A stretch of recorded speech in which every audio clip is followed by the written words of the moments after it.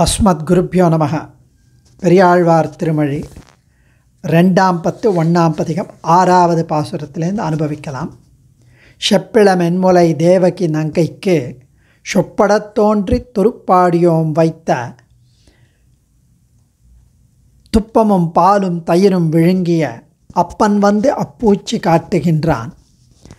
அம்மனே அப்பூச்சி காட்டுகின்றான். சொப்பட அப்படின்னா நன்றாக ஸோ இளமையாய் மென்மையாய் இருக்கிற முலைகளை உடைய தேவகியாகிற நங்கைக்கு தோன்றி ஐ ஆய்ப்பாடியில் உள்ள நாங்கள் சேமித்து வைத்த நெய் நெய்யையும் பாலையும் தயிரையும் விரும்பி அமுதுண்ட உபகாரகன் கண்ணன் வந்து அப்பூச்சி காட்டுகின்றான் பயமுறுத்துகிறான். ரொம்ப அழகான இது. ஸ்ரீ வாசுதேவரும் தேவகி பிராட்டியாரும் இறைவனை பிள்ளையாகப் பெற வேண்டும் என்று நோன்பு நோற்றார்கள். அவர்களுக்காக இறைவன் நான்கு புஜங்களோடு சக்கு சக்கரங்களை உடையவனாய் தோன்றினான். அதனால்தான் சொப்படத் தோன்றி. சொப்படன நன்றாக.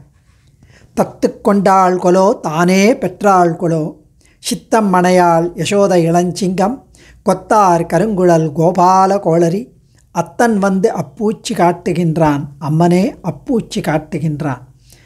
தன் தன் புத்திரனாக வளர்த்தாளோ இல்லை தானே மெய்நொந்து பெற்றாளோ?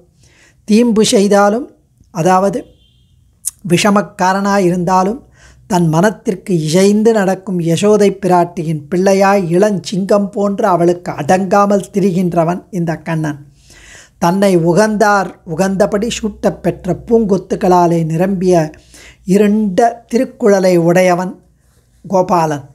இவன் கோபாலர்களுக்கு கோபர்களுக்கு அடங்காமல் வலிய சிங்கம் போல செருக்கி இருக்கும் அவன் ஆகிய என் சுவாமி வந்து அப்பூச்சி காட்டுகின்றான் அப்படிங்கிறான் அதாவது இவ்வாறான பிள்ளை உலகத்தில் காணப்பெறாமையால் இவளை இவனை இவள் பிள்ளை என்று சொல்ல முடியாமையாலே தத்து கொண்டாள்களோ இல்லை தானே பெற்றாள்களோ அப்படின்னு கேட்பாளாம்.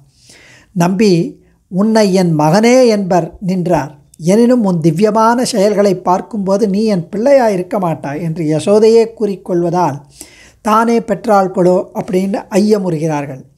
கொங்கைவன் கூனி சொற்கொண்டு குவலைய துங்க கரியும் பரியும் ராஜ்யமும் எங்கும் பரதற்கு அருளிவன் கானடை அங்கு அண்ணன் அப்பூச்சி காட்டுகின்றான் அம்மனே அப்பூச்சி காட்டுகின்றான்.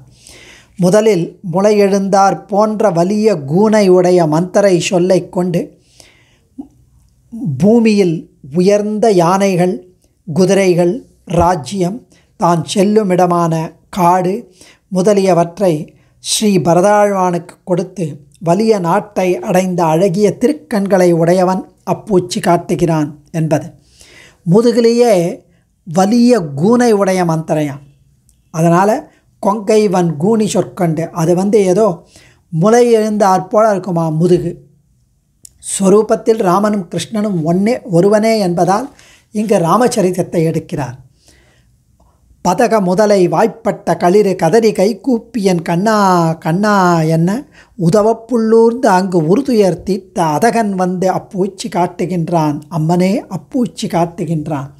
கொடிய முதலையனுடைய வாயில் அகப்பட்ட கஜேந்திரன் ஆழ்வான் என்கிற யானை முதலையாலே நீருக்குள் இழுக்கப்பட்டு நீரில் மூழ்கி போன நிலையில் இனி நம்மால் செய்வது ஒன்றுமில்லை என்றெண்ணி கண்ணா கண்ணான கதறி பல தடவை கூப்பிட அந்த துன்பக் குரல் கேட்டு பெரிய திருவடியின் மேலேறி அவனுக்கு உதவ விரைந்து பொய்கைக்கு விரைந்து வந்து அவன் பட்ட பெரும் துன்பத்தை போக்கின வலிமையுடையவன் வந்து அப்பூச்சி காட்டுகின்றான். அப்படின்னு மிடுக்கன் நாராயணா ஓ மணிவண்ணா நாகனையாய் வாராய் என்று அழைத்ததாக திருமங்கை ஆழ்வார் கூறுகிறார். மூலமே என்று அழைத்ததாக ரிஷிகள் கூறுகிறார். இவர் கண்ணா என்று அழைத்ததாக கூறுகிறார். எனவே மூலமே என்பது பரமபதநாதனை குறிப்பதற்காக. அந்த பரமபதநாதனே நாராயணன் கண்ணன் என்ற சொற்களை காட்டுகிறது. அதனால் அதற்கு பரியாய நாமங்களாலே ஆழ்வார்கள் அருளினார்கள் என்று அறிய வேண்டும். வல்லாள் இலங்கை மலங்கச் சரந்துறந்த வில்லாளனை விட்டு சித்தன் விரித்த சொல்லார்ந்த அப்பூச்சி பாடல் இவபத்தும் வல்லார் போய் வைகுந்தம் மன்னி இருப்பாரே. இந்த பாடல்களை பாடுபவர்கள் அதாவது வலிய படைகளை உடைய கட்டுடைத்தான இலங்கையில் உள்ளார் கலங்கும்படி சரங்களை அதாவது அம்புகளை மேன்மேலும் தொடுத்த வில்லை உடையவனை விஷ்ணு சித்தனாகிற பெரியாழ்வார் விரிவாக அருளிச் செய்தார் இந்த பத்து பாடலில். சொல் சொல் நிரப்பமான அப்பூச்சி அப்பூச்சி காட்டும் இந்த பாட்டுகளை இந்த பத்தையும் யாதானும் ஒருபடி வல்லவர்கள் கற்பதினாலே கேட்பதினாலே அர்ச்சிராதி மார்க்கம் என்னும் வழியாலே சென்று ஸ்ரீ வைகுண்டம் என்னும் திவ்ய தேசத்திலே அவனை அனுபவித்து அவனுக்கு பல்லாண்டு பாடிக்கொண்டு என்றும் காலமெல்லாம் வாழ்ந்திருக்கப் பெறுவர் என்று ஆசீர்வதிக்கிறார் பெரியாழ்வார். ஆழ்வார் திருவடிகளே சரணம். தன்யோஷ்மி